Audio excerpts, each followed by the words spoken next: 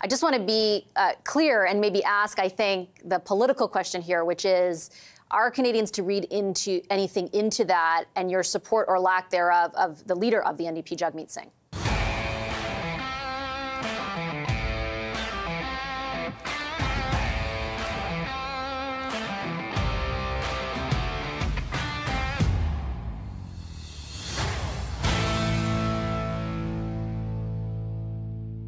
Welcome back to Northern Perspective, everyone. I'm Cypher. And I'm Fox. The NDP can say what they want, but it looks as if Jagmeet's caucus is not happy with him and has declared that enough is enough by announcing that they are abandoning ship. So, what does this mean in the big picture?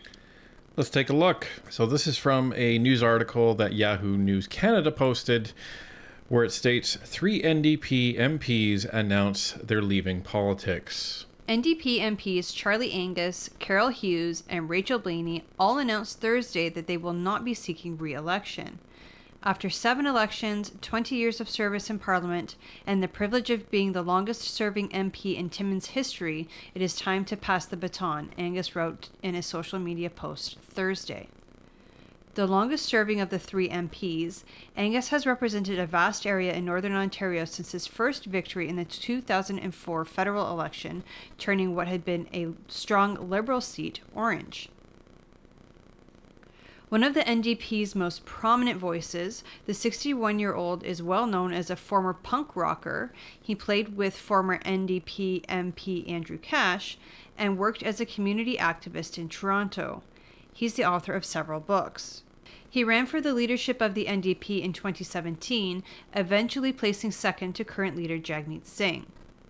He said in a news release Thursday that he tried to take a pragmatic approach to politics, quote, but I and my NDP colleagues never wavered in our progressive ideals, and I am proud of the work I've done, end quote. He specifically cited the coming changes to his riding as part of the reason for his retirement. His riding of Timmins James Bay is set to expand by more than 20,000 square kilometers, encompassing many new communities and being renamed Kapuskasing Timmins Mushkegowuk in the next federal election. Speaking at an event in Winnipeg on Thursday, Singh said that while it was sad to see veteran MPs leaving, the party has some exciting candidates stepping forward. He framed the departures as normal turnover. Quote, it's always tough, though, to see veterans move on. But we respect the great work they've done, we honor them, and will continue their legacy with some great new MPs. End quote, he said. We're seeing our party in a really strong position. Sure, you do. Hughes also represents a riding in Northern Ontario that is changing significantly through a once in a decade redistribution process.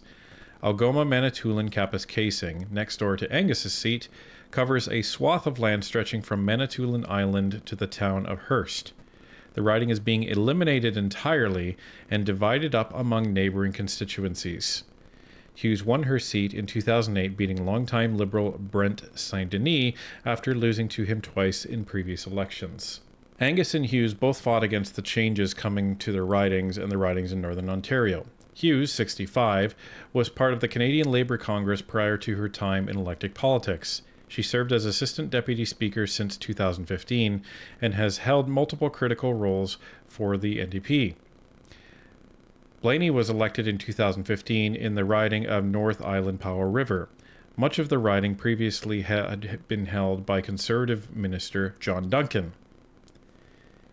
Quote, being an MP has been a great privilege and honor, but it's time for me to focus on my family and stay closer to home on beautiful Vancouver Island, end quote, Blaney said in a media statement. Blaney's riding is not changing significantly under the new maps. Several other NDP MPs have already announced they are not seeking re election, including Randall Garrison and Richard Cannings. Daniel Blaikie recently left his seat to work for Manitoba Premier Wab Kinew. So, this is kind of interesting, but before we get into it, Charlie Angus spoke with Vassy Kapelos today on CTV News on her segment called Power Play. Let's take a look at a piece of uh, what he said and some of the questions that Vassie has been known to ask. And I, I, I believe democracy is a great is still powerful and can be, and I love our country. But we all, I think, have to pick up our game to to to, to maintain that respect that, that people should have in their public institutions. You uh, mentioned Carol Hughes. Uh, you're not the only NDP MP to announce that, that you're leaving politics today. Ms. Hughes, as well as another one of your colleagues, Ms. Blaney, uh, did as well. Uh, Mr. Blaikie is moving on to Premier Kinew's office. A couple of other MPs have announced that they're going to retire from politics as well. I just want to be uh, clear and maybe ask, I think, the political question here, which is are Canadians to read into anything into that and your support or lack thereof of the leader of the NDP, Jagmeet Singh? Well, I, I, I, I love Daniel Blaikie, but I'm going to hold this against Wab Kinew forever that Wab Kinew stole such a, a great uh, presence uh, from the federal house. And I, and I know why Daniel left. I mean, you know, you got a young family and you can do that work in your province. You know, for Carol and I, it was very much the the riding. I mean, she lost her writing. Her writing was already enormous. My writing's much bigger.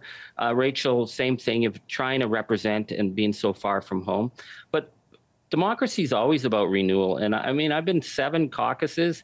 Uh, when I joined the party, they were talking about the end of the NDP and is this the end and what's the future of your leader? I've I've seen so many great leader people leave our caucus that I never thought we'd survive. And I think what's important is knowing when renewal should happen. And I, I I'm really proud of the work our caucus has done, and I'm very excited about where it's going to go. And one of the reasons I made the decision now in April is to keep the eye on the prize. We have to set the, the ground here in the new riding uh, for, for the next candidate. And it's actually a much stronger NDP riding. I've had people say, hey, dude, are you nuts? You get better polls in the new riding. I said, I know, but like, look at my hair. It's turned gray. I was like, I was a young lad when I, I joined politics. So a renewal is renewal is the lifeblood of democracy. Notice he didn't mention anything about Jagmeet Singh in that statement? Yeah, it was a very strange answer to a very direct question. Yeah, he didn't he didn't choose to talk about Jagmeet at all. He talked about the caucus. He also talked about, you know, there were some interesting just nuggets that he dropped in there.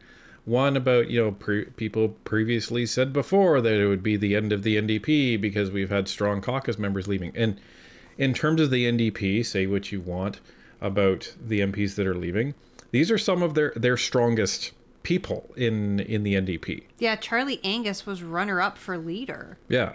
And Rachel Blaney, we've seen her in committee, very She's- strong. Yeah, she's she asks good questions. She's kind of like and you know, Matthew Green where you know, when she's actually advocating for Canadians, she's really really good. It's you know, when they start advocating for the crazy policies of the NDP that that's where everything falls off the rails. Or for the liberals.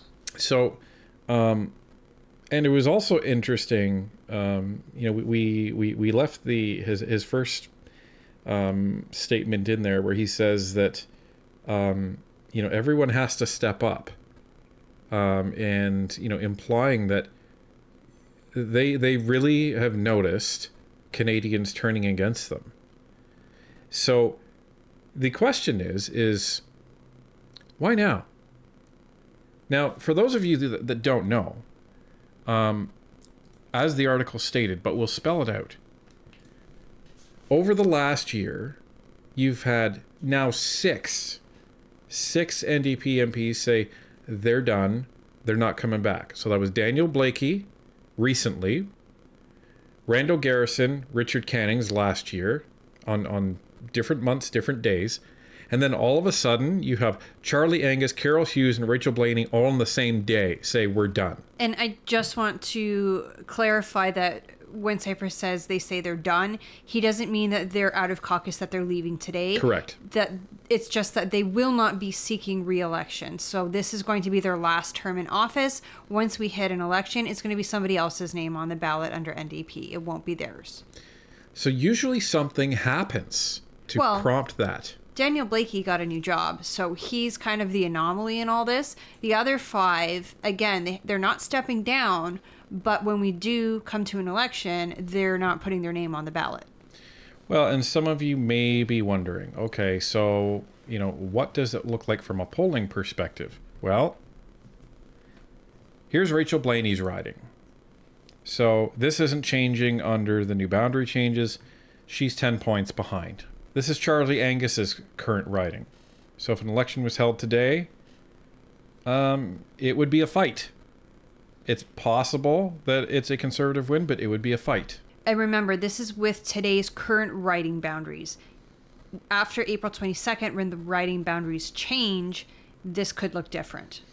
Well, it's supposed to get more NDP friendly if Allegedly. you believe if you believe Charlie Angus. So this is Carol Hughes. So um, this writing disappears.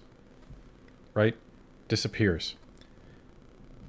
So it's very interesting that you have three senior members of Jagmeet's caucus, and his his statement was, "Well, turnover is good." I think something happened here, folks. Oh, I absolutely think something happened, whether they had a, a caucus meeting or like a Zoom call or, or what, but three of them all on the same day. I wonder if these three kind of collaborated with each other and were like, you know what? Nuts to this. We're done. Let's announce it all on the same day. Well, and it's it's it's reasonable to see why they would do that, right? Because let's take a look at where the polls are going for the NDP again. So you have the latest Nanos polls going down again by a whole nother point for the NDP. Where's the cheering throng at the NDP's door for dental care, for Pharmacare. alleged pharmacare. pharmacare. Yeah. Uh, for this alleged national food program, for this alleged, you know, renters, you know, protection stuff. Like, It's not there. And you know what they're hearing from their constituents instead? They're hearing that we don't want you to be supporting the liberals anymore. We want you to stand up for your constituents, you know, like we voted you to do. and we want an election right now. So this is not coincidence that these three seasoned MPs are all stepping down from the NDP caucus.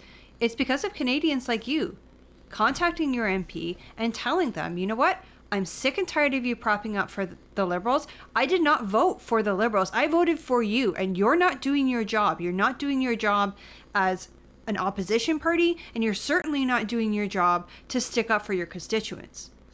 Now, you may say, well, you know, six MPs in the grand scheme of get things, you know, that's not a lot. Maybe when you're talking about the Conservative caucus or the Liberal caucus. But, folks, we're talking about a party with 25 total MPs. Well, 24 now that Blaikie's gone. So, if you look at that, just in terms of percentages, that's 25%, almost 25% of their whole party has said, we're done. We're not coming back. And three of them are really, really strong, you know, MPs. Don't get me wrong. I would not vote for Blaney. I would not vote for Angus, and I would not vote for Hughes.